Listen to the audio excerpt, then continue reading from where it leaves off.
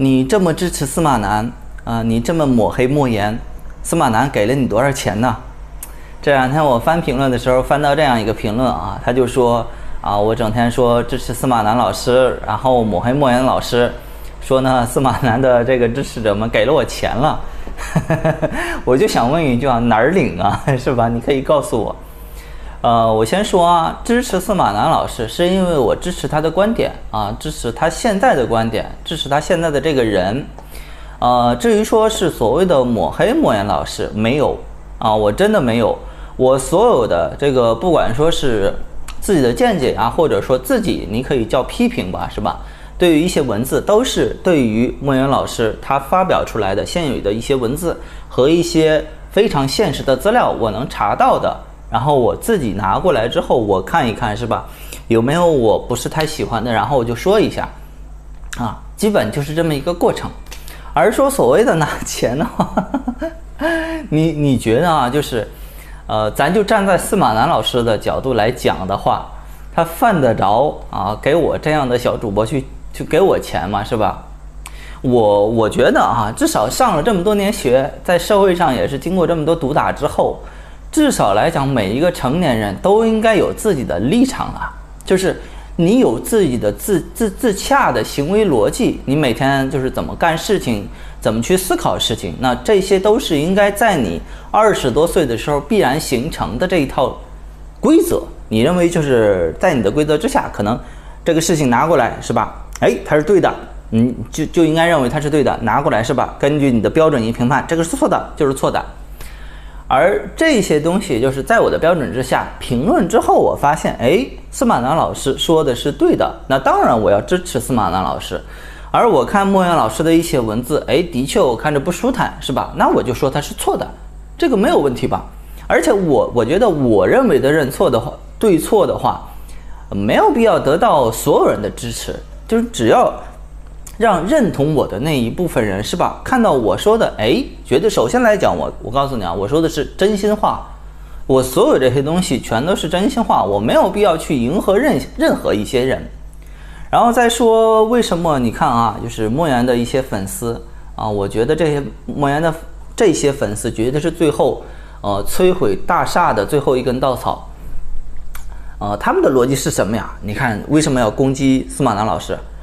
最大的一个问题就是司马南老师这些年以及这段时间来讲，在互联网上被放大之后，司马南老师得罪的人太多了，啊，呃，咱就说啊，就是只说莫言老师这件事情的话，当时的人的确有很多挨饿的，是吧？这个不可否认呢。你包括挨饿的意思，不是说今天就是叫叫那有句话叫跟着德爷混，三天饿九顿，他不是说这个饿呀。还是说每顿可能吃的稍微少一些而已，啊，还有一点就是，莫言老师笔下什么人？当然后来我也考虑了一下啊，你说当时这个农民，普通的农民翻身，真的是翻身把歌唱了，就是建国之后是吧？几千年来，我就告诉你啊，几千年来中国的农民就没过上几天好日子，即使所谓历史书上写的大唐盛世。看起来很是盛世，是吧？宋朝也说那么富有，但是你知道，即使是大唐盛世里边的老百姓，那过的日子苦啊，真的是苦啊！你就这么，就大唐整天打仗，是吧？死了多少老百姓啊，是吧？包括黄巢，是吧？那老百姓苦得很呐。但是啊，在建国之后，农农民真的是当家做主人了。但是农民当家做主人之后，什么人最惨呐？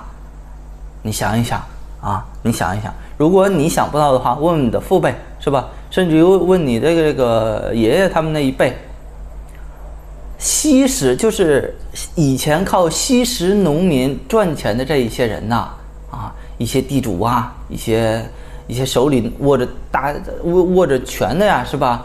握着这些农民的卖身契的这些人呢？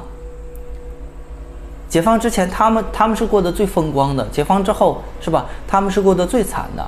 所以说，你就不外乎啊，就是你能理解网上有一些人说，为什么说一直在强调啊？莫言老师写的那写的还没真实发生的情况更糟呢，是吧？我家的日子那过得比莫言老师笔下过的日子还惨惨上一百倍，那你就可以知道他之前是什么人了，之前他做过一些什么事情了。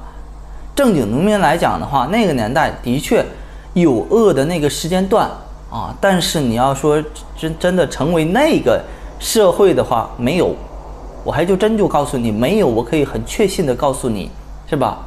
再说为什么他攻击？现现在我找了一下这个，就是攻击莫言那个司马南老师的他他他的这个最大的黑料，我现在找到的最大的黑料就是什么呀？有人在网上说。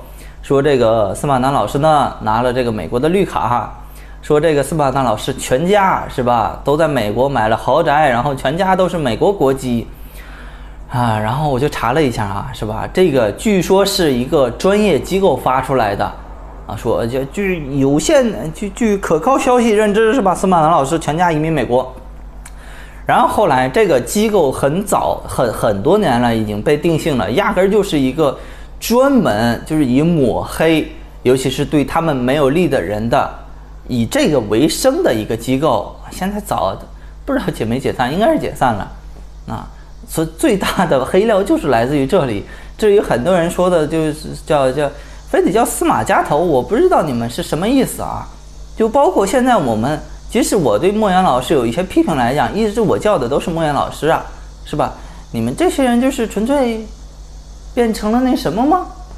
变成了莫言老师笔下，我记得有一本小说里面写到说，呃，因为，呃，说是自己丑陋，然后给对方起这个外号吗？